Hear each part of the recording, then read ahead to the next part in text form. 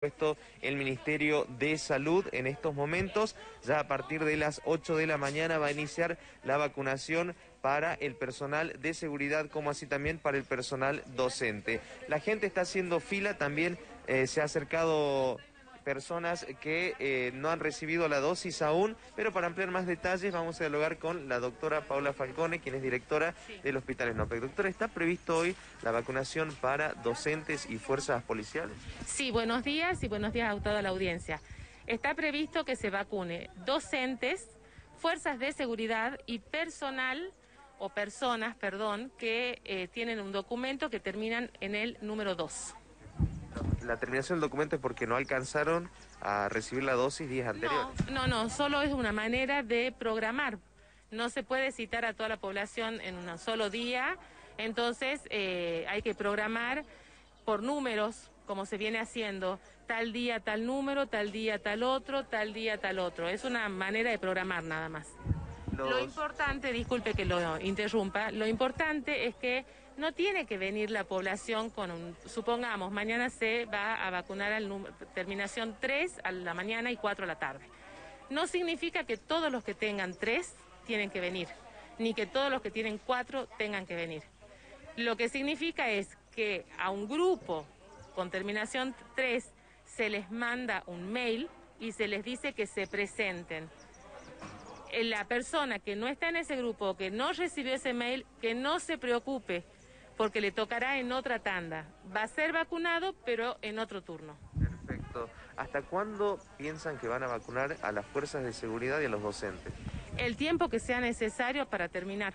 No hay fecha límite si supongamos el 5 de abril. No, si esto tiene que seguir hasta mayo, seguirá hasta mayo. O sea, es el tiempo necesario para terminar con la vacunación.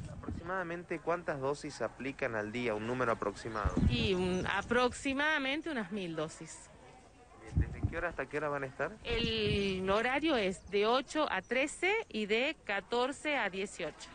Perfecto. Que esperen entonces ser notificados para presentarse. Indispensable, ser notificados para poder presentarse, que no vengan sin ser notificados porque no van a ser vacunados. Y una cosa que voy a aclarar una vez más, lo venimos diciendo desde que empezó la vacunación, así que lo vamos a reforzar. El personal de riesgo significa que tiene alguna patología de base. Ese personal de riesgo significa que está en un tratamiento. Ese personal de riesgo significa que tiene un médico que avala toda esta situación. O sea, el requisito para ser vacunado es que traiga un certificado de su médico tratante en el que explica cuál es la patología que presenta. ¿El único centro de vacunación por el momento es acá en el SNOPE o también están en Ciudad Cultural? También está en Ciudad Cultural. O sea que lo citan en el mail, ya le especifican dónde debe De acuerdo a qué grupo se está vacunando, son citados o acá en el SNOPEC o en el OSCAM de Ciudad Cultural. Perfecto. Muchísimas gracias, doctora, por A usted. Saludos. Hasta luego. bueno, escuchábamos las palabras de la doctora Paula Falcone, quien es directora del Hospital Snope, aclarando también que, como siempre venimos diciendo desde que nosotros empezamos a hacer la cobertura de la vacunación por COVID-19, que las personas esperen a ser notificadas y no que escuchen que la terminación de su documento se vacuna en el día de hoy y que se acerquen a los centros de vacunación. Recordamos entonces, arrancó la vacunación para eh, la fuerza y también para los docentes en el día de hoy, Nancy. Qué importante lo que decía, ¿no? La doctora siempre tienen que recibir el mail que les esté avisando la llamada telefónica en algunos casos que les avise a dónde se tienen que dirigir y en qué horario se tienen que dirigir. Llevamos tranquilidad también a todas las personas que todavía no han recibido el mail, que ya lo van a recibir, que se va separando por grupos, pero todos los que han sido, todos los que se anotaron van a ser vacunados. Cristian, ¿vos cómo ves ahí el movimiento? Estamos viendo ahí algunas imágenes, están haciendo fila, pero la gente está tranquila. Sí, la gente está tranquila, pero como siempre se acerca a consultar y es también donde vemos la amabilidad de los directivos de este nosocomio, como así también del personal de salud que sale a explicar y escuchar caso por caso, porque esto pasa siempre. La gente escucha alguna información, escucha que la terminación 3 se vacuna hoy y dice, bueno, mi documento termina en 3, me llego para ver qué es lo que pasa y no es así, tenés que esperar a ser notificado, tenés que esperar a que el ministerio te diga dónde, cuándo y a partir de qué hora vas a recibir las dosis para acercarte a los centros de vacunación. La gente se acerca a consultar, pregunta, yo tengo tal consulta, tal problema, voy puedo recibir, no, venga mañana, bueno, recordamos a todos entonces que esperen ser notificados para acercarse a los centros Eh, de vacunación. Cristian, y, otra duda que, que, eh, cuando nosotros comenzamos 7-9 lo, lo decíamos, se va a vacunar en la, en la ciudad cultural, ahí en el hospital de campaña. Bueno, también se suma eh, eh, este hospital en Snopec, o sea, puede ser o en uno o en el otro, ¿no es cierto? Depende de dónde te citen.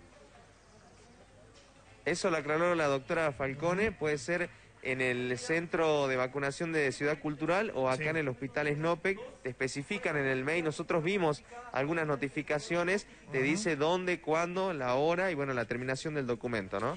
Está bueno aclararlo, Cristian, porque como te digo, había, había algunas dudas por ahí. Te cambio de tema, Cristian. Está fresquito, vemos ahí a las personas con campera. eh, por suerte no está lloviendo.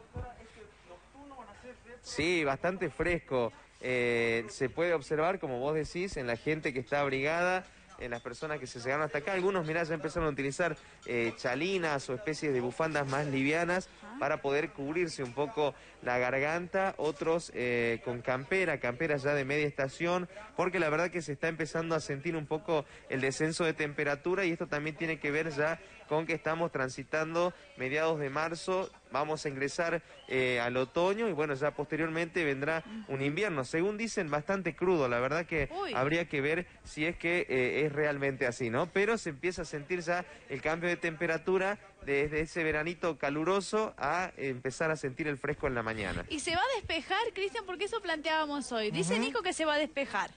Yuri dice que se va a despejar. Yo dije Eh, que está difícil, ¿o no?